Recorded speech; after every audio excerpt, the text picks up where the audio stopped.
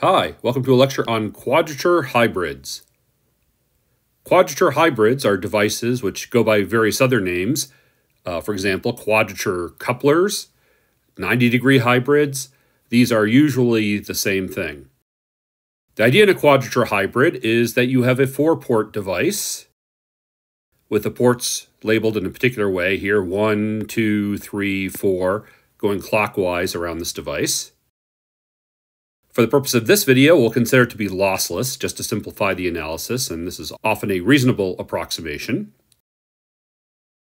And the idea, which is normally depicted for a quadrature hybrid, is that port 1 is the input, ports 2 and 3 are often shown as the output, and the two outputs are 90 degrees phase shifted. In other words, one is 90 degrees out of phase with the other one which is the reason why we refer to it as a quadrature hybrid. The fourth port here in uh, the application, which is implied by this labeling, is uh, said to be isolated. Now, these terms can be a little bit misleading, and the reason is because this device has a lot of symmetry. You can use these ports in a lot of different ways. This can be a divider, it can be a combiner, it can be a coupler. Uh, there's lots of uses. So first, let's consider what it is that makes a quadrature hybrid a quadrature hybrid. And the easiest way to spell it out is in terms of S parameters. So what I'm doing here is showing the four-port S parameters for this device. Now, four-port S parameters work just like three-port S parameters work just like two-port S parameters. There's just more of them. So I can define the behavior of a four-port in terms of its S parameters, and this is what they are for the quadrature hybrid. I've color-coded these to facilitate a easier to follow explanation. So first, let's consider S11, S22, S33, and S44. Remember, those are just the voltage reflection coefficients at each one of the ports. Well, for a quadrature hybrid, they are all zero, which means no reflections from the ports. Now these four S parameters, which I'm highlighting now, have to do with isolation. These are S41 and S32, S23, and S14. The fact that these are all zero for the quadrature hybrid says that we have perfect isolation between ports, which are on the same side. That is, between ports 1 and 4 and ports 2 and 3. So in other words, if we were to use this as a divider with the input being port 1, then we know that port 4 would be isolated. S21 and S31 here are non-zero. S21 and S31 describe how this behaves as a quadrature divider because S21 and S31 are describing the responses at ports 2 and 3 with respect to port 1. So for these S parameters, port 1 is the input, and ports 2 and 3 are the output. So this is the behavior as a divider. And we see here that the magnitude is the same, we just have a 90 degree phase shift. And specifically, we see that port 2 is 90 degrees ahead of port 3. The S parameters S12 and S13 are also non-zero. These two parameters describe the behavior of this four-port as a quadrature combiner. So here we're talking about ports 2 and 3 as inputs and port 1 as the output. And we see that the inputs are being combined with equal magnitude and a phase shift of 90 degrees.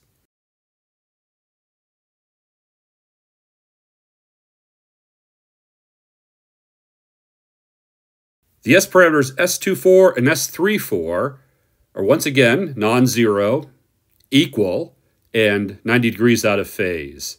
So this is once again describing a divider where port 4 is the input, ports 2 and 3 remain the outputs. Finally, S42 and S43 are S parameters, which are equal in magnitude and 90 degrees out of phase. These two S parameters are describing the behavior as a perfect quadrature combiner. That is, when signals are applied to ports 2 and 3, and port 4 is the output. So what we see is we have two ways to make dividers, two ways to make combiners, and in all four cases, we have these 90 degree phase shifts going on. Now be careful, all of this presumes that all ports are actually terminated into an impedance Z naught. If the ports aren't terminated into Z naught, then this is not going to be exactly right. So all of this depends on good matching at all four of the ports. And in that case, this is the set of S parameters describing the behavior of this four-port device.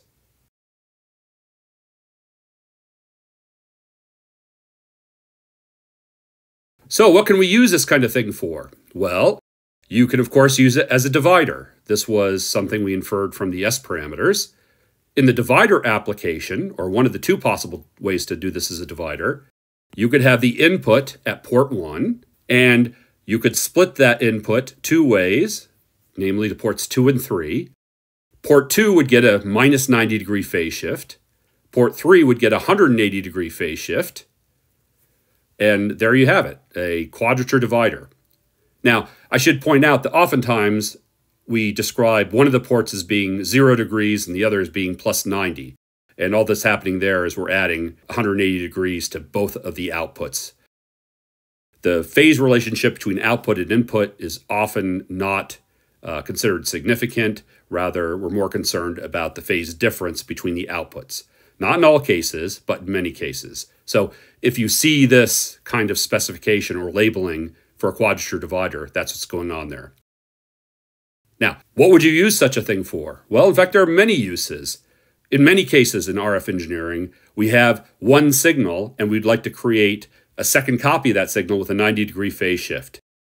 For example, creating quadrature local oscillator signals for various kinds of frequency converters, uh, among other applications.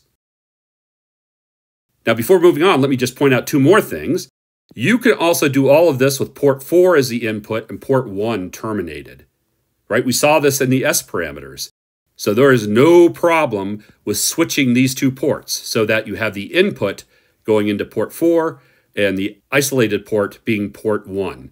And the resistor that you hang off the isolated port would receive no power.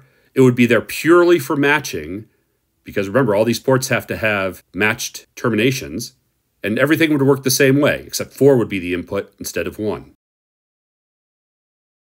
Furthermore, you can do both things at the same time. In other words, you can apply a signal to port 1 and have it appear at ports 2 and 3 with a 90 degree phase shift.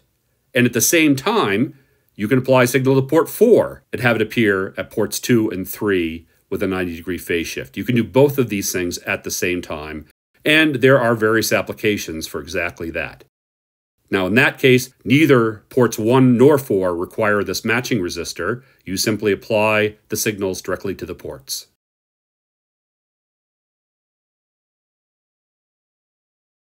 When used as a combiner, this is the picture that you might think of.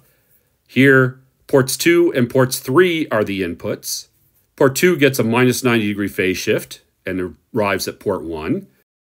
The signal at port 3 gets a 180 degree phase shift and arrives at port 1. And port 4 is isolated. Uh, we simply hang a resistor off of that. And as before, you can also do this with 4 as the output and 1 as uh, simply being terminated. Or you can do both of these things at the same time. So you can apply signals to ports 2 and 3. You'll get one version of that at port 1 and another version of the combined signal at port 4, and you can do it all at the same time. As long as all the ports are matched, everything's good.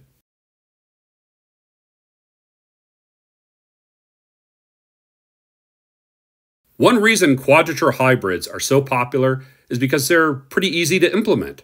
And there's a bunch of different ways to implement them.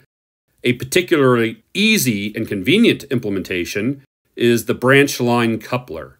So, a branch line coupler is a four port device which is well described as a quadrature hybrid. In a branch line coupler, we have four sections of transmission line arranged like so in a ring. and ports 1, 2, 3, and 4 are attached to nodes between these transmission lines. Each transmission line is lambda by 4, that is 1 quarter wavelength.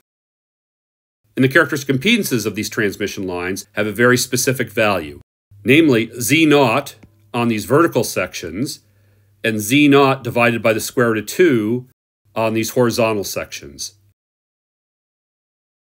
So if you do this, you have these four sections of transmission lines with these lengths and these characteristic impedances, you have a branch line coupler. Now, a couple things to note here.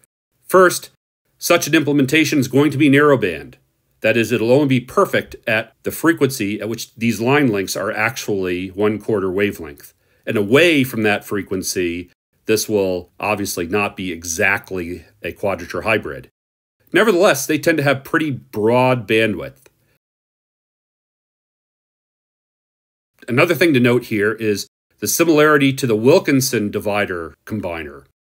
The Wilkinson device also uses quarter wave lengths of transmission line, and similarly has this feature of having very, very high isolation between sets of adjacent ports.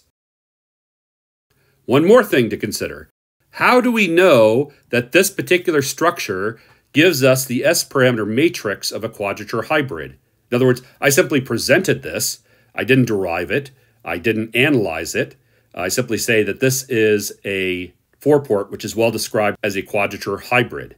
Well, if you want to confirm that this works like a quadrature hybrid, the way to do it is using a technique known as even odd mode analysis. It's not very hard to do, it's a little bit tedious, but it's a useful thing to do if you specifically are curious about why this turns out to have the S parameters of a quadrature hybrid. Now, I should also say here that there's a lot of mythology out there about how these things work.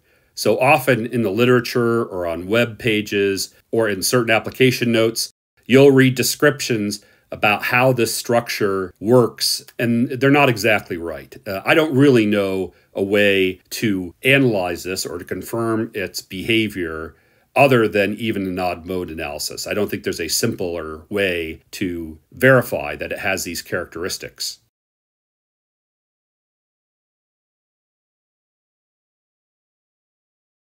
A particular implementation of a branch line coupler, and hence a quadrature hybrid, is shown here. Here we have ports 1, 2, 3, and 4. We see the transmission lines, we see the characteristic impedances, and we note here that the lines on the top and the bottom here are wider. They're wider because their characteristic impedance is smaller. Other four port devices, which also act like quadrature hybrids, include the coupled line coupler and the Lange coupler. And there are probably many others. There are certainly waveguide versions of these things as well. So there are many ways to obtain a device which acts like a quadrature hybrid. And once you have a quadrature hybrid, there's all kinds of useful things you can do with it. That concludes this lecture on the quadrature hybrid.